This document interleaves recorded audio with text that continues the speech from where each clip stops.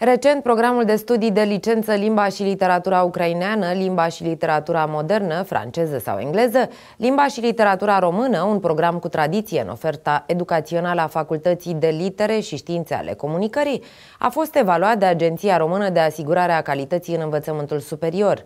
Cu acest prilej, membrii Comisiei de Evaluare au constatat calitatea activităților didactice, a bazei materiale și a cercetării științifice aferente programului, elemente care au condus către adoptarea deciziei de menținere a acreditării pentru acest program de studiu. Pe lângă Universitatea Ștefan cel Mare din Suceava, în țară mai există doar alte două centre universitare cu programe de studiu dedicate limbii ucrainene, Universitatea din București și Universitatea Babeș-Bolyai din Cluj-Napoca. Susținută de Ministerul Educației și beneficiind de implicarea Uniunii Ucrainenilor din România, specializarea se adresează atât etnicilor ucraineni din zonă, cât și celor interesați de cultura țării vecine. Studierea limbii ucrainene se face atât la nivel de începător, cât și la nivel avansat învățat, împreună cu o limbă modernă, franceză sau engleză sau cu limba română. Absolvenții acestui program de studiu au numeroase posibilități de angajare, învățământ, companii multinaționale și naționale, diplomație, poliția de frontieră, birouri de traduceri, radio și televiziune, edituri, transmit reprezentanții USV.